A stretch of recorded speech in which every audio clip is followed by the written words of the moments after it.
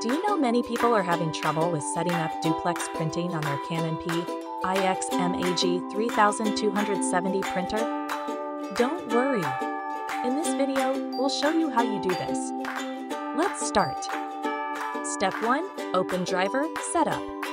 Open the printer's driver setup window and click on the Media slash Quality tab. Step 2. Enable duplex printing in the Page Setup tab, enable duplex printing by choosing the two-sided printing manual option. Step 3. Choose Print Layout. Now pick your preferred layout from the page layout list. Step 4. Specify stapling side. Specify the side for stapling. The most suitable binding location will be selected automatically according the orientation and page layout. Step 5. Specify print margin.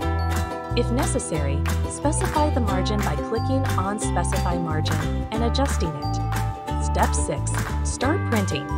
Finalize the setup by clicking OK on the Page Setup tab. Start printing.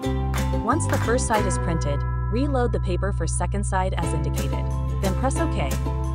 By following these steps, you should now be able to print both sides of the paper using Canon P IXMAG 3270 printer.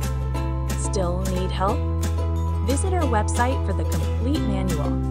There you will also find questions and answers from other Canon users. Did you find this video helpful? By subscribing, you help us continue to answer users' questions. So, subscribe to our channel. Thanks for watching, and see you in the next video.